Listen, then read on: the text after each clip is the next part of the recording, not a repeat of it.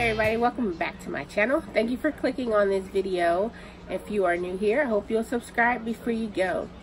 So today's video, we are on part two of our five-part series of secrets cruise lines don't tell you about.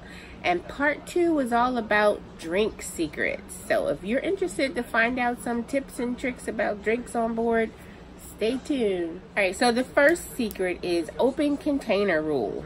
Uh, if you didn't know, cruise ships do not have an open container rule, meaning you can take your drink that you get from the bar or wherever else you get it anywhere on the ship that you want to go. There's no, you know, you don't have to drink your drink at the bar or in the restaurant. You can take it to the Lido deck, go sit by the pool, go to the comedy club, wherever.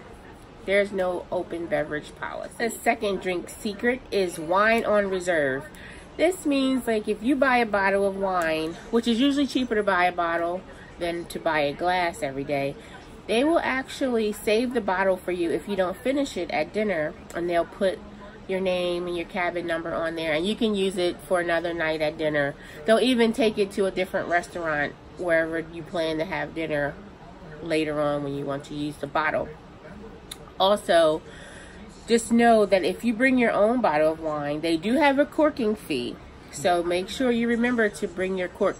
You can get cheap ones at the dollar store, um, but they will charge you about $15 to open your bottle of wine for you if you bring it on and don't purchase it through them. The next secret is beer buckets. So if you have three or four of your friends, or if you just like to drink a lot of beer, it's usually a little bit cheaper if you buy the bucket, which will have like four or five bottles of beer in the bucket. And it's usually cheaper like per bottle than it is if you buy just one at a time. So, and then I believe the buckets are like collectible or souvenirs or whatever. I'm not 100% sure as I don't drink beer, but I'm pretty sure you can keep it. The next drink secret is the soda. So, most cruise lines charge for soda um, by the glass or by the can. And they can be at least $2 or more for one can of soda. You can get a drink package, like a soda package, and it'll have like a set daily price to cover you for your entire trip. Which if you plan to drink more than two or three sodas a day, this actually works out for you because you have your whole trip. The sodas are unlimited and you can get them anywhere. You can get them at the restaurants, any of the bars, or wherever. So if you plan to do a lot of drinking, you can um, save a little bit of money doing it that way. The next secret is BYO drinks. So a lot of the cruise lines have a limit of what you can bring on board. I know with Carnival, each adult can bring on one bottle of wine or champagne. And each person in the cabin can bring one case of canned soda. Now, you are not allowed to bring water on anymore with Carnival. I'm using Carnival as a reference because I cruise with Carnival. But if you're with a different cruise line, I suggest check out their website or give them a call to find out exactly what you can and cannot bring. I know most of them, if not all of them, won't let you bring on beer or liquor. Sidebar check the description box if you want to learn a little bit more about that. um, but you, yeah, you can't bring on liquor or beer, but you can bring on juice or soda, but it has to be in a can or a carton. You're not allowed to bring on glass or plastic bottles.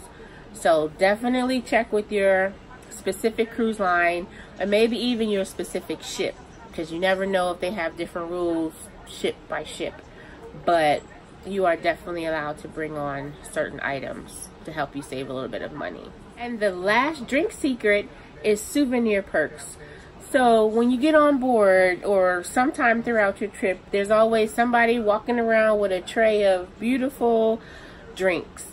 Whether they're in like a disco ball or a fish or some type of, um, you know, glass with the company name on it. Those souvenir cups they'll have like one upcharge or whatever. But a lot of times, if you reuse that cup over and over, you will be able to get a discount when you buy a drink. I'm not sure how much each discount is. You know, everything varies per company. But that's something to ask when you see them and they're like, oh, do you want this great big um, whale tail drink? Which actually doubles as a piggy bank when you take it home. Find out if you use that again throughout your trip, will you get a slight discount on your drinks? Might help you save some money. There you have it. Those are some drink secrets that the cruise lines don't often tell you. If you have not seen part one, which was food secrets, check the iCard or check the link in the description box and go back and check out number one. And don't forget to hit that like button. Don't forget to subscribe to my channel if you are not already subscribed. And most importantly, don't forget to come back tomorrow to see what day three secret is all about. It is all about cabins. I'll see you in my next video. Bye.